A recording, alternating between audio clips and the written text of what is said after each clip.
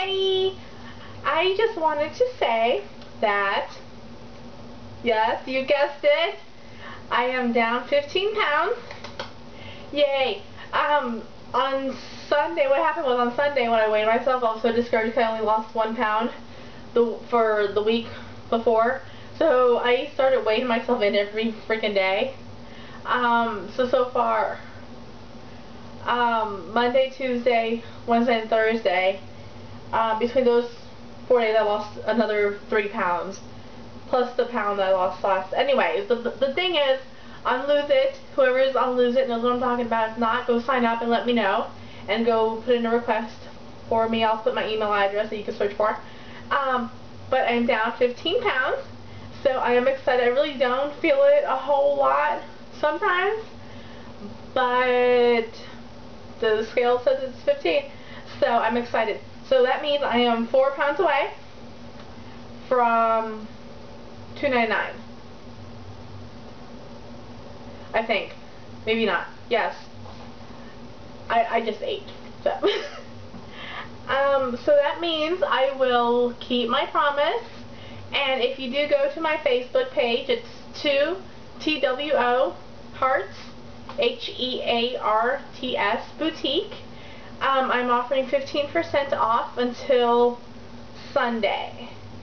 Um, so it's anything from the album that I have on there called, I think it's called the Catalog of Products or something like that, which is pretty much one picture of everything that I make. And you could take advantage of the 15%.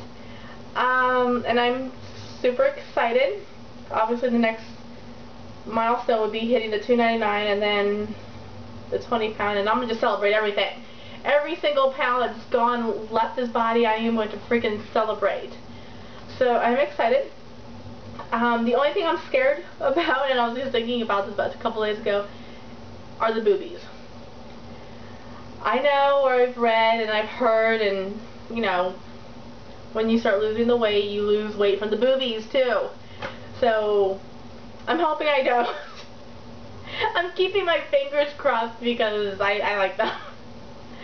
um, and that is about it. I, if you look at the video before this, I had posted um, a recipe for banana quinoa muffins. They're actually pretty good. I I don't know, yesterday they were sticking to the wrapper, but I don't know, I guess everything kind of settled and now they're not. So I have no idea what's going on, but they're yummy. I still have a few 12, I have 12 big ones left and six of the tiny muffins. Um, and that's pretty much it. So I'm excited.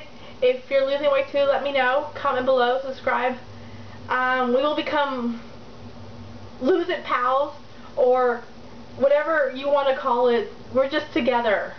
Getting this fat off of us and finally living the life that we want to live. It feels like at this point I feel like I can do it. So I don't know if it's the fact that I do work from home and I do have this ex not I want to call extra time, but just time that I could take from do, completing my orders to do my workouts and then still go back and complete orders. It's not like when you have a 9 to 5 job where you have to get up super early and have this organized life. Mine's kind of a little bit unorganized, but I know what what I have to do. And I'm glad I'm able to take that hour, an hour and a half and just dedicate it from move it from completing my orders to working out. It does take a little bit away from my orders and sometimes it does slow down a little bit but my customers and my fans like they totally understand. I keep them informed about everything and I feel like every time I do post something positive about a weight loss I feel like I'm inspiring or motivating someone else to to finally get up and do it. Obviously we've all had issues. We've all this is not the first time obviously that I've tried to lose weight. God knows how many times I've tried.